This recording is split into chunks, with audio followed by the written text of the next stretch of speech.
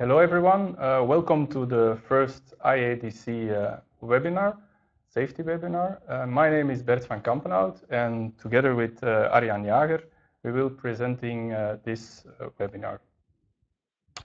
Why are we doing this safety webinar? Well, because safety is very important for the IADC, the International Association of Dredging Companies and we want to let everybody know how we are realizing uh, safety within his, uh, his members. So what's in it uh, for you? Uh, we want to make you curious about how we uh, make uh, safety, how safety makes competitors work together. Now I leave the work to, to Arjan to introduce us to, to this webinar. Thank you very much, Bert. So the topics we're going to be uh, talking about today is, uh, first of all, we will introduce ourselves in more detail. Then we'll talk about the IADC Safety Committee and the IADC Health and Safety Charter. Then what will what is driving safety. Uh, then we'll talk about uh, some specific subjects in more detail. Hydrogen sulfide release during dredging, safety and mooring operations, unexploded ordnances, and then we'll talk about sharing knowledge and working alone together. And after that, there will be a question and answer sessions. Okay, as I already told you, my name is uh, Bert van Kampenhout. I work for DEME as a QHSE engineer and prevention officer, uh, especially uh, for the business unit DIMCO, in, that's the civil engineering and marine part of, uh, of DEME. Uh, I have um, more than 13 years experience uh, within uh, safety. My focus for safety is especially during work preparation, being proactive and make sure everything is already done before the work starts. Okay, my name is Arjan Jager. I started my career in dredging after I graduated from a Hanse Hogeschool in dredging engineering and project management in 2000. I started off in an operational role and over the past six years, I've become a full-time safety professional. I hold the, the title Chartered Safety Practitioner, and uh, I work for Van Oord uh, at the QHSE support desk.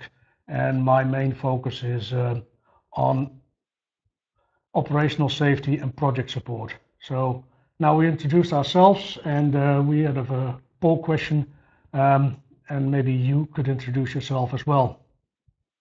So whether you are involved in safety professionally. Okay. Um, next. Uh, how is uh, the importance of uh, safety within the IADC uh, realized? Well, in November 2013, a safety committee with uh, safety experts uh, was established and who is in it? Uh, the four uh, dredging companies, uh, Jan de Nul, there is uh, Mr. Christophe uh, Leroy uh, responsible, Mrs. Ilse Kirijnen for DEME, Mr. Jan Willem Ottevanger from Royal Boskalis, Mr. Ton van Minkelis from Van Oord, and Mr. René Kolman from the IADC. Uh, I already saw that the poll question is, uh, is filled in, and as we can see, uh, almost 90% is involved within uh, safety. So uh, it's not only us uh, talking about safety, but your background is also safety. So let's hope we can try and learn and share a little bit more, because that's the, the goal of our safety committee.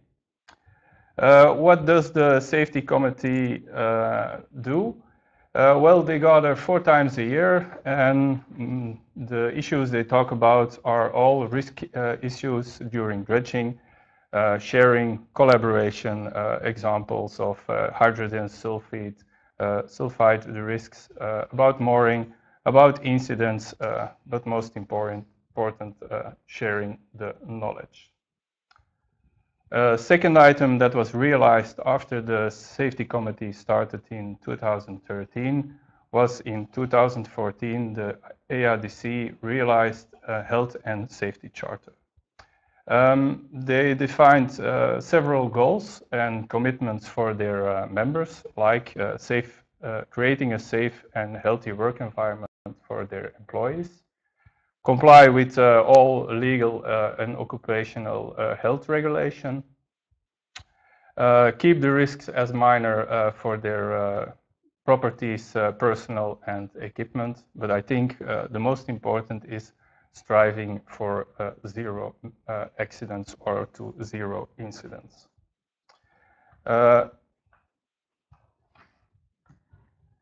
Okay, so dredging operations can be a risky business. Uh, it often involves working with uh, heavy equipment and heavy machines where there are uh, many obvious and also hidden dangers present, and there's little room for errors as the potential consequences can be severe. In addition to these dangers involved with uh, related to the heavy machinery, uh, dredging operations also involve um, often working on or over water, uh, but also mooring operations. But there are also less visible dangers such as hydrogen sulfide and unexploded ordnances. So over the past years, uh, the safety has evolved within the dredging industry, and uh, nowadays the safety companies want to be proactive in their safety approach.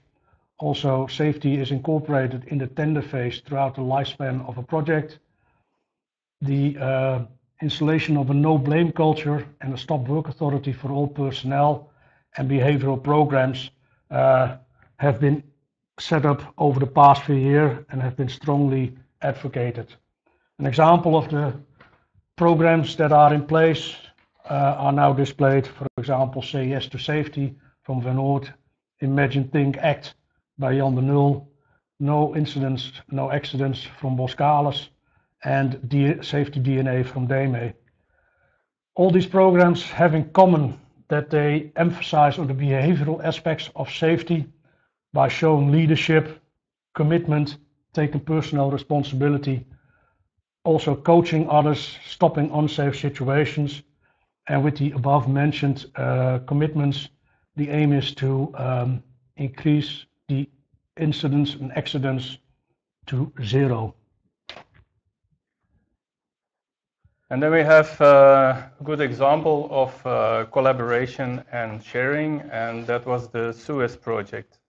The Suez project was the largest, uh, were the largest vessel, largest number of vessels ever employed uh, for dredging operations, and uh, it, due to the contacts uh, within the safety committee, it was easier to get in contact with uh, our competitors and to share info, like, for example, the risks uh, during hydrogen sulfide contact, UXOs, and mooring and unmooring operations. Uh, so the next thing we're going to talk about is the hydrogen uh, sulfide in dredging. Uh, there we have a, a, second poll question. I'm going to launch it uh, now. Um, what can we say about uh, hydrogen sulfide? Well, uh, it's composed by organical material that uh, that can be vegetal, uh, animal, uh, or, or, else, and is released uh, within the, the mixture during, during dredging. Um, what are the mm, characteristics of hydrogen sulfide? well, it's highly toxic. I have to close the, I can see that already, but everyone is uh, answering, so I can now close the, the poll question. I see uh, there is a variety of, uh, of answers already, but what are the characteristics and uh, what is uh, in fact the, the right answer? We can see on the slide that the uh, that it's heavier than air and it's not lighter than air, and that's that's also a great risk during dredging because uh, it stays on the ship and it can enter uh, the lower part of uh, of the vessel during uh, during dredger during during dredging. Excuse me. Um, so that's why it's very important to make sure accommodation is closed and uh, all other openings during uh, dredging are closed. Some other characteristics are uh, is is it that's very reactive and corrosive, and that we can see on the picture uh, on your right side. Um, a tube is very uh, uh corrosion uh, already, uh, and we can also see that for engines, for example, when the air intake with hydrogen sulfide enters the engine, then we get a lot of corrosion inside the engine. So for uh, the livability of an engine, it's, uh, it's not that good. The same also for the electrical system. Um, there we can uh, have some fires after corrosion of the electrical system. What about the uh, exposure and the danger of the exposure? We have uh, a long-term exposure with a low-level uh, exposure or, or, limit to the hydrogen sulfide. And that can cause uh, fatigue, uh, loss of appetite, headaches, irritability, uh, poor memory, dizziness, uh, small, uh, small injuries, uh, small, small incidents. but in fact, when you have the short term and the high level exposure, then it can be very dangerous and very serious because it's attacking your nerve system and your breathing system and can cause uh, immediately uh, death of uh, the victim that gets in contact with hydrogen sulfides. What can we do about uh, what can we do for prevention and uh, making sure the limiting we are limiting the hydrogen sulfide release during the dredging projects? Uh, we can there work with uh, a closed hopper, also under pressure, and with a degasser. We can work uh, by covering the, the open hopper, so all hydrogen uh, air stays under the, under the cover. Uh, then we have to make sure we have enough inlets and outlets, and there is an under pressure uh, realized under the cover. And then the third thing we can do is limiting the turbulence in the hopper. Uh, limiting the turbulence uh, can be realized by uh, placing the, the height, uh, the dropping height uh, underwater and making sure the dropping height is uh, less than, for example, two meters of the bottom of the vessel. What can we do to avoid the hydrogen sulfide to enter the accommodation? Because that's a second danger after working uh, uh, in the open hopper uh, and getting contact with the hydrogen sulfide. Uh, that is uh, diverting the air intakes of the accommodation. Uh, and as you can see on the picture, when you when we put and enlarge some pipes to to divert the intake, then we can take some air from an area where the hydrogen sulfide is less or even there is no hydrogen uh, sulfide. This we can do in combination by uh, placing filters, uh, the active uh, carbon filters. Then a small part about uh, monitoring and awareness. Uh, monitoring, this can be done by personal detectors. So everyone who has a risk to get in contact with the hydrogen sulfide during the dredging operations has a personal detector. We had some problems with some personal detectors also during the Suez project, and then we had some exchange with some other competitors uh, who were also on site during this project. Uh, we had some exchanges uh, about these uh, personal detectors so that's, uh, that's one way of sharing and, uh, and helping each other. Second, uh, we can install a fixed detection uh, on the vessel, um, not only on the hopper and the, the open side of the hopper, but also in the accommodation. Uh, this can be a system that is near wireless or uh, with cables that can be installed. And the advantage, the advantage of this system is that it can be read from the bridge, so all detectors uh, are registered in the, in the bridge, and if there is a problem, the bridge can immediately take some action. And uh, for the third part, we have uh, data logging. Uh, that is a logging uh, that can be during a week to evaluate uh, different situations and different areas to make sure which limits are reached or not reached during the dredging part.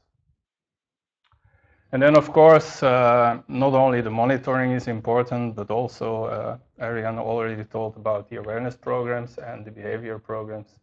Uh, the awareness has to be there within the crew, so they have to be trained to take uh, all preventive measures, measures including uh, like the use of uh, personal detectors, personal protective equipment like independent breathing equipment. So that's that's what's very important uh, within also the the knowledge of the emergency uh, procedure. And then Arjan uh, will introduce you some more about uh, another subject, uh, the safety and mooring. Okay, I will talk about safety and mooring. Um, Bert is going to launch a uh, poll question now. Um, safety mooring is a very relevant topic uh, since it frequently happens when vessels have to come alongside, for example, split barges being moored along uh, a grab dredge uh, during the loading operation. In this part, we will draw from various publications such as Terra Aqua and um, also uh, uh, publications that are available from the maritime authorities and ship owner associations. And although the um, merchant uh, shipping mooring is slightly different as it has a lower frequency and usually is vessel to quay mooring. Um, still, as the types of equipment and the type of um, activities associated with it and the dynamics of these activities are very similar, we can still draw a lot of useful lessons from the um, merchant uh, merchant marine. So with regards to uh, mooring lines, uh, the question was, uh, what was the highest risk when mooring? And I'll talk a bit more about that now. The Danish, according to the Danish maritime authorities, um, associated with mooring are parting lines and snapback zones, insufficiently trained crew, and poor supervision. And in general, their uh, conclusion is that most of the accidents actually not happened due to one factor, but actually to uh, contributing factors that uh, enhance the effect. So it's about interacting factors. So you can say that these um, are all just as relevant uh, for potential accidents in mooring operations. So in the next section, we'll look at each of these um, potential uh, scenarios for accidents. And we'll start with the uh, parting of lines and uh, snapback zones. So mooring, op, uh, mooring equipment is controlled by international and uh, class regulations with regards to the design and maintenance. However, uh, mooring and hauling uh, poses enormous strain on the mooring equipment and major forces are involved.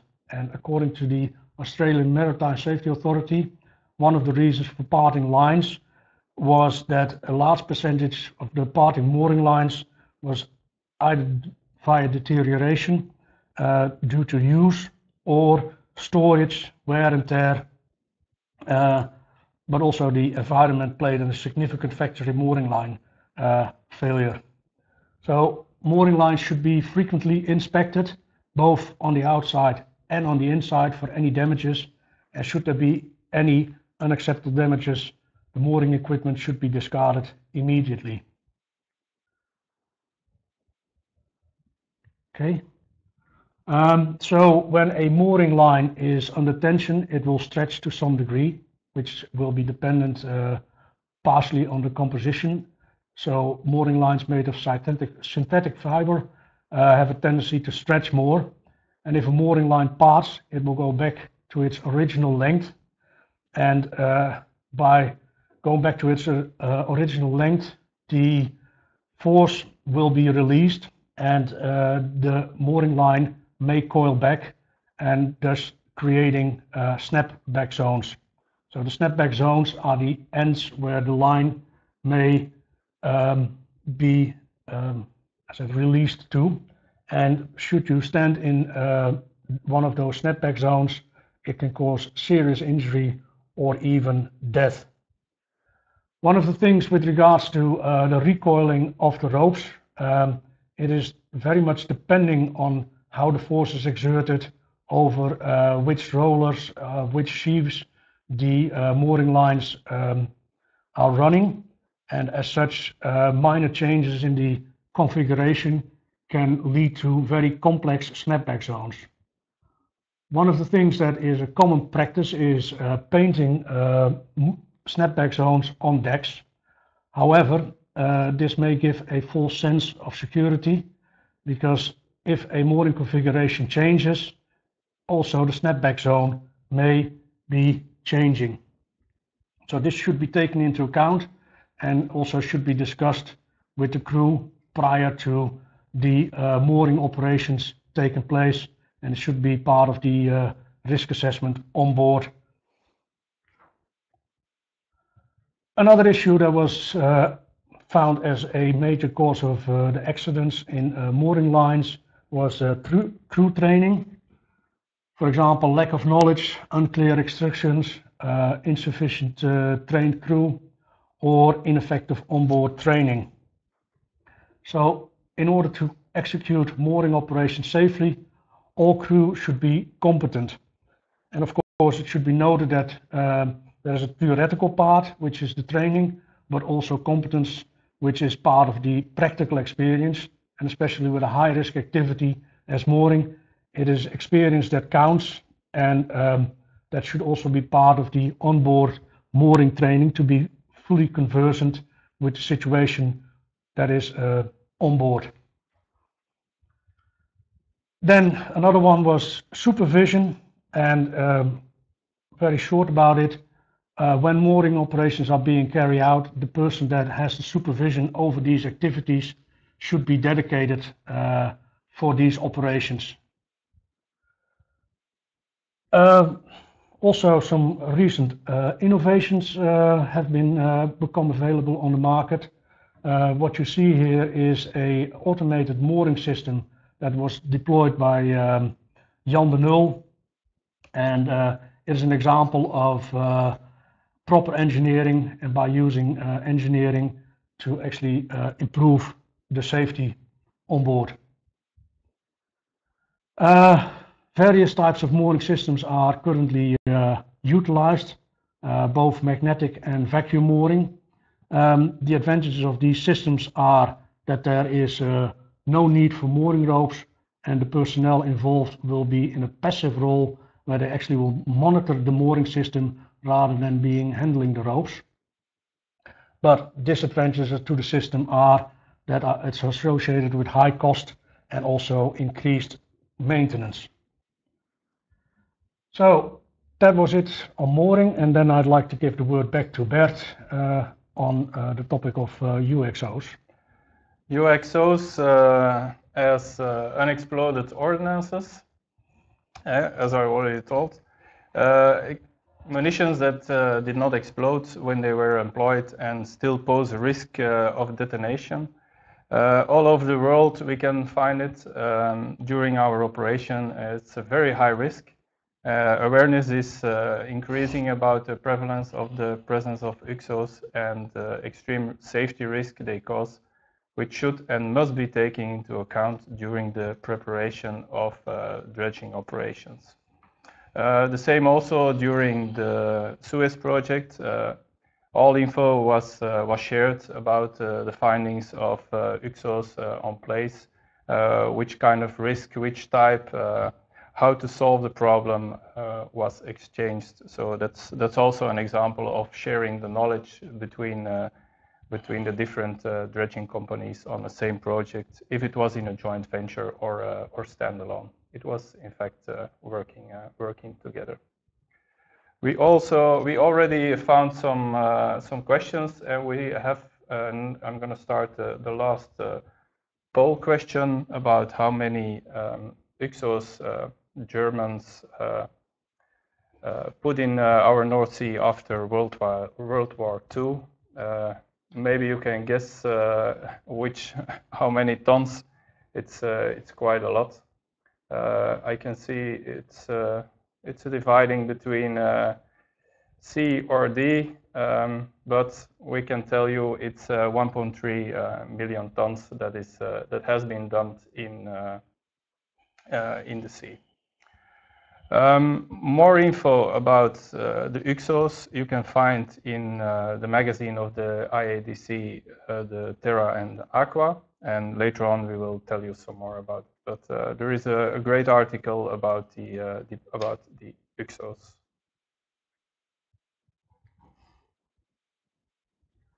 Thank you, Bert. Um, so, as we uh, explained, uh, that by sharing knowledge, we can enhance uh, our safety performance. We can get uh, information from each other and maybe avoid reinventing the wheel. Um, in this uh, presentation, we drew from a lot of Terra Aqua publications, so hydrogen sulfide, common sense approach, UXO, disposal and awareness, and safety and mooring. I also like to point out that in next Terra Aqua, um, an article will be published on separating uh, man and machine, so personnel working around heavy equipment and the dangers associated with uh, these operations, and also for um, within the next half year, another safety webinar uh, on will be available via IADC. So please keep yourself posted on the IADC website for more information about this. Then um, we come to a we want to talk about working together alone. Uh, I think um, Bert and I standing here, with Bert being uh, a DEME um, employee, I as a Van Oord employee, we have been sharing information, we've been working together to talk about safety, which demonstrates actually the goal of working together alone. Sometimes we work alone, but still we are competitors, but by sharing information and knowledge, uh, we can improve our system and we can improve ourselves. So the conclusion that uh, is safety committee uh, comprises individuals with uh, responsibility for health and safety and uh, information is shared through the IADC website and the various publication. And uh, please, uh, you can register yourself on the IADC website to receive the Terra Aqua regularly on your doormat as a free, free publication, as a service from our uh, International Association of Dredging Contractors. And um, if there's more questions about that, we can answer those uh, later on. Uh, but uh, we want to emphasize the, to all stakeholders, safety is a top priority. And uh, by exchanging information, we can learn from each other and raise the bar. So this was our uh, presentation. Um, thank you all for attending. We um, are uh, ready to uh, answer some questions. So um, our uh, mediator is now uh, sending us um, some questions. And uh, Bert, you want to kick off with the yeah, first one? Yeah, I will uh, take the first for my account. The first question is a lot of people ask to get to get the presentation. Well, if you are registered uh, to the seminar, then you can uh, uh, then you receive a mail with the presentation, with a link to the presentation, uh, and you can also uh, uh, register for the offline version of the presentation throughout the link on the website. Okay, then um, I see the second question with regards to how to conduct training think it's a, a good one. Nowadays, with the uh, possibilities to uh, train via internet, uh, there's a lot of improvement because people uh, can do the training in the time available on board. So online training is available, but of course, practical training is uh, also still a good way to hand down information. But I think if you distinguish between training and competence, online training is very suitable but for the competence, you need the practical exercise. So that should not be done online. That is not an e-learning course. That is something that you have to get from experience or from um, people that can share experience with you. We received some other questions, and the third question is uh, I'm gonna... review the the chat uh, the chat view. Um, has the approach working together already led to concrete results? I think uh, Arjan already told, told uh, the the sharing the knowledge not only during this presentation, but I think this is a good example. Somebody from Van Oord and somebody from DEME. And if you uh, see within the, the presentation, you can not only find pictures and good practices of Van Oord or DEME, but also from uh, De Nul and Boskalis. So I think this is one of the perfect examples that uh, safety makes competitors uh, work together. Okay. Um, then the question I saw passing by, I think I already touched on the subject, was about how to get a subscription to Terra Aqua. You can go through the uh, website www.iadc slash dredging.com and there is an online registration form you can fill in and then uh, you are subscribed to Terra Aqua and you can receive it uh, free of charge in your mailbox on a regular basis. Um, maybe another one uh, about mooring. Uh, I should read the question. Maybe uh, yeah, maybe you can uh, can answer the question. Um, where is the question?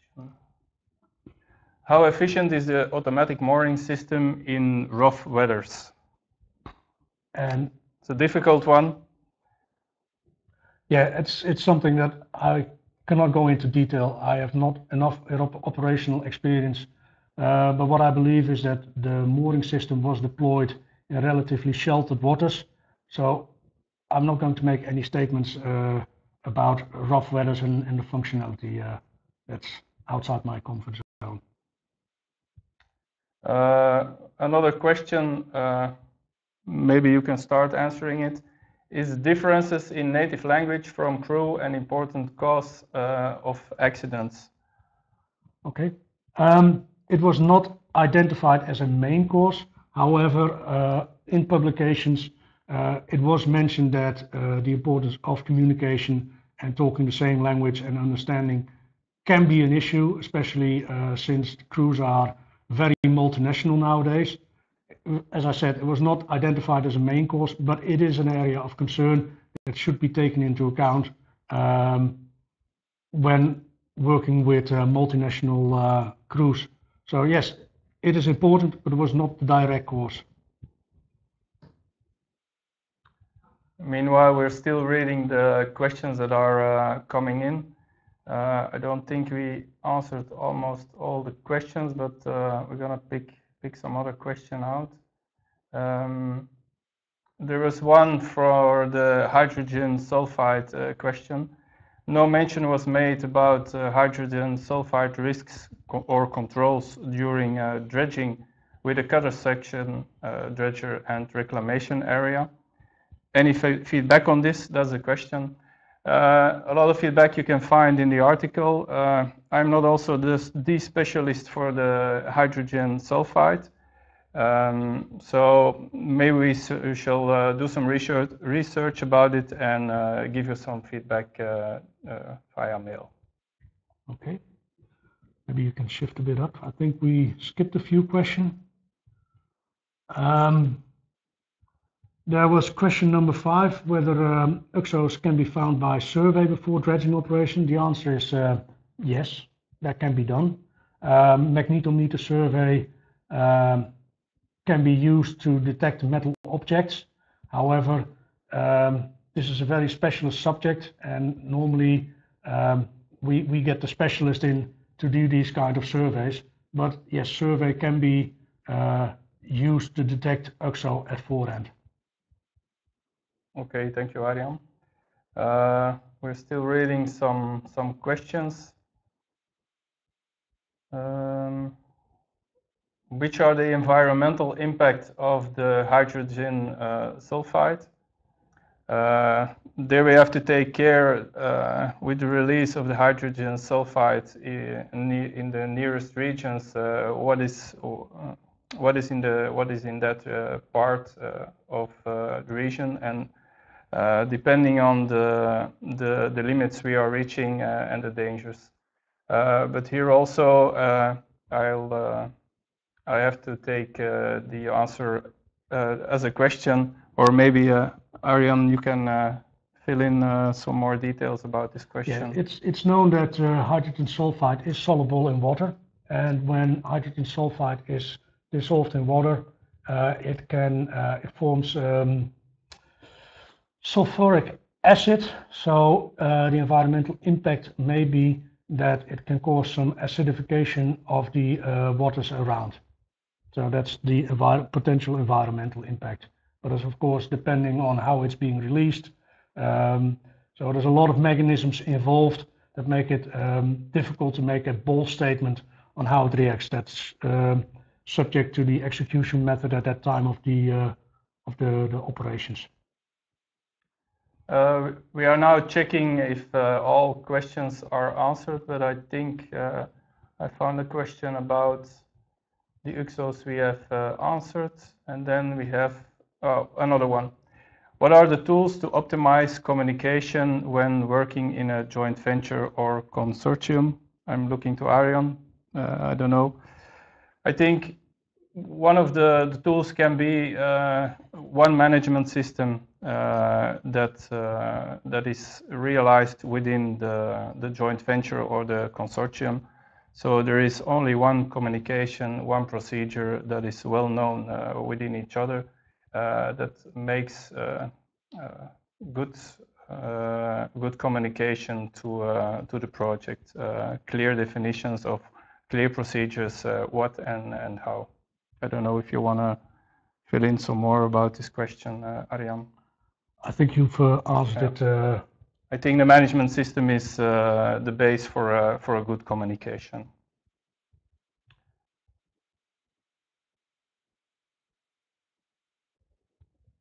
Uh, we had some final question, but uh, I don't know it's by by my mind. The question is, what is the limit? Uh, hydrogen sulfide is mortal. I'm gonna try to find it in my notes, but I'm not sure we're having it. Um, there is one uh, rule you can uh, you can remember, and that's the 50 ppm uh, rule.